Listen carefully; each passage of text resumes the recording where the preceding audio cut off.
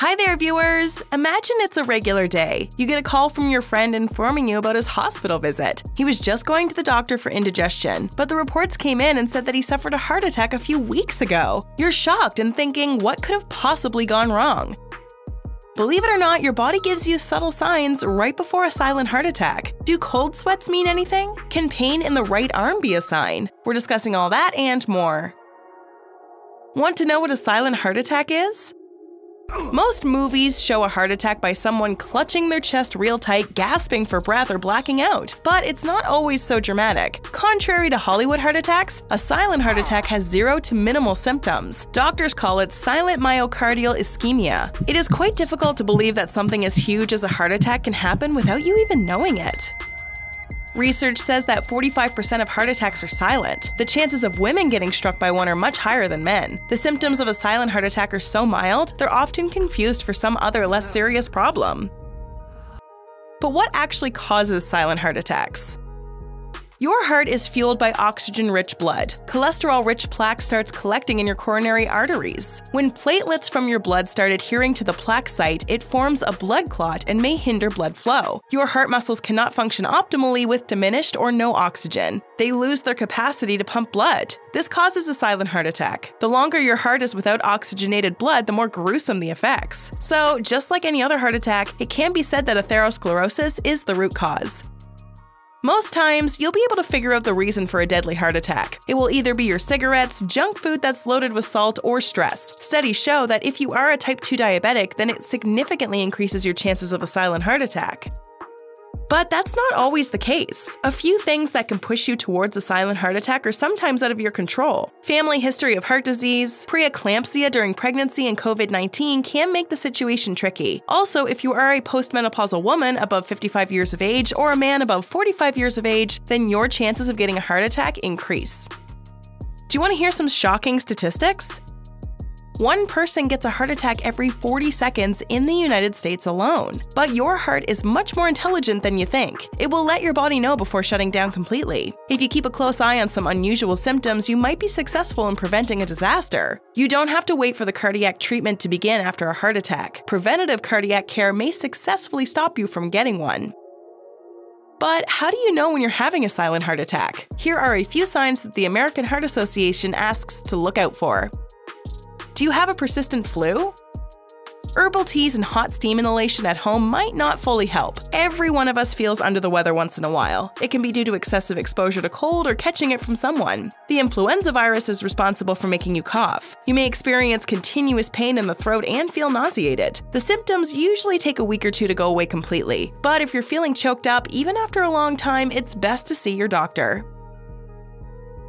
Have you been feeling bloated for a while?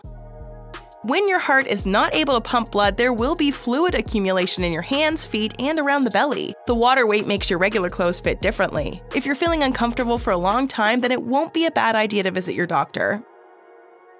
Are you sweating a lot these days? Sweating is a great way to get rid of toxins from your body. It's your body's natural response to physical exertion, or too hot and humid climates. But if you're sweating rivers, even when the thermostat is turned down, you need to act quickly. There's also a reason why heartburn should never be ignored. Having spiced sausages or sriracha meatballs for dinner can cause a burning sensation in your digestive tract, so much so that it causes discomfort in your chest. Chest pains are the cardinal signs of a heart attack.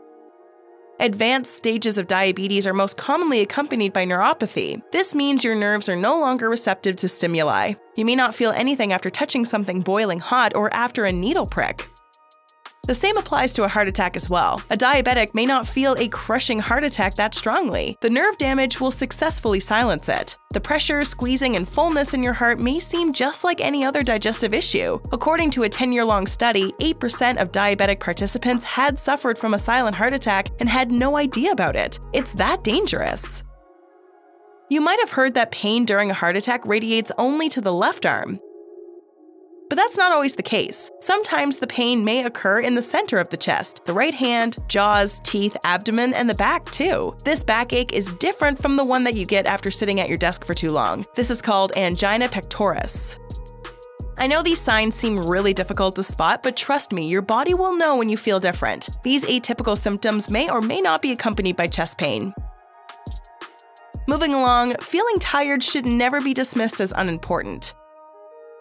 It could mean something less serious, but the probability of a silent heart attack cannot be denied. This tiredness is much different than working through those extra hours at the office or running an extra mile on the treadmill. It sometimes can be linked with lightheadedness and difficulty breathing. If you experience any of these, then don't sit on it. It's best to go to the hospital.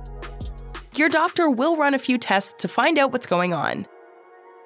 Generally, an electrocardiogram, CT scan, and MRI are the gold standards when looking into a heart attack. Your heart also sends messengers to the bloodstream that can be picked up via blood tests before and after a silent heart attack. Those are called cardiac biomarkers. Stress tests and coronary angiograms also help with diagnosis.